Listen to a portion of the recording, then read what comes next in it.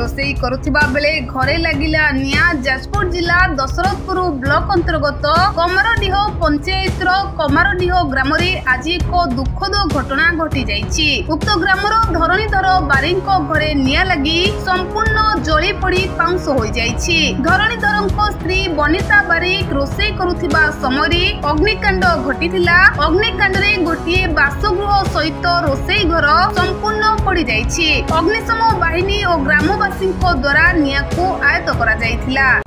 କର୍ମଚାରୀ ଅଟେ ଆମେ ଶହେ ବାରରୁ ଟେଲିଫୋନ୍ ପାଇ ଆସିଲୁ କମରାଡିହା କମରାଡିହିରେ ନିଆଁ ଲାଗିଛି ବୋଲି ଖବର ପାଇଲୁ ଆସିକି ପହଞ୍ଚିଲୁ ଯେ ନିଆଁଟି ଗ୍ରାମ ସେଠାରେ ଆୟତ୍ତ କରି ଆଣିଛନ୍ତି ଅଳ୍ପ ନିଆଁ ଥିଲା ଆମେ ଲିଭେଇଲୁ ଲିଭେଇଲୁ ଏକ ବଖରା ଘର ଥିଲା ଆପଣଙ୍କର ରୋଷେଇ ଘର ଆଉ ଆପଣଙ୍କର ବାସଗୃହ ଗୋଟେ ବଖରା ଅଛି দ্বিতীয়তঃ সেমানে রোষেই যে স্ত্রী লোকটি রোষেই করলে রোষেই করা সময় চুলিকু চুলিরু নিয়া যাই ঘরক ব্যাপি লা କ୍ଷୟକ୍ଷତି ଅନୁସାରେ ଆପଣ ଘର ଅନୁସାରେ ଆମେ ଲସ୍ ସେୟାକୁ ଆମେ ରିପୋର୍ଟ ଅନୁସାରେ ଦେଖିକି କରିବୁ ଆଉ ସେଇଟା ବର୍ତ୍ତମାନ ଆମେ ପ୍ରକାଶ କରିବୁନି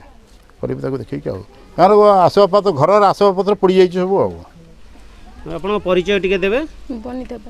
ଆଚ୍ଛା ଏଇ ଯେଉଁ କେମିତି କ'ଣ ଆପଣଙ୍କର ଏଠି ଲାଗିଲା ନିଆଁଟା ରୋଷେଇ କରୁକୁ ଲାଗିଛି ରୋଷେଇ କରୁଥିଲେ ଲାଗିଗଲା ତାପରେ କ'ଣ ହେଲା ଘରେ କିଏ କିଏ ସବୁ ଥିଲେ ଶ୍ୱଶୁର ଅଛନ୍ତି ନଣନ୍ଦ ଅଛନ୍ତି ଦି ପୁଅ ଅଛନ୍ତି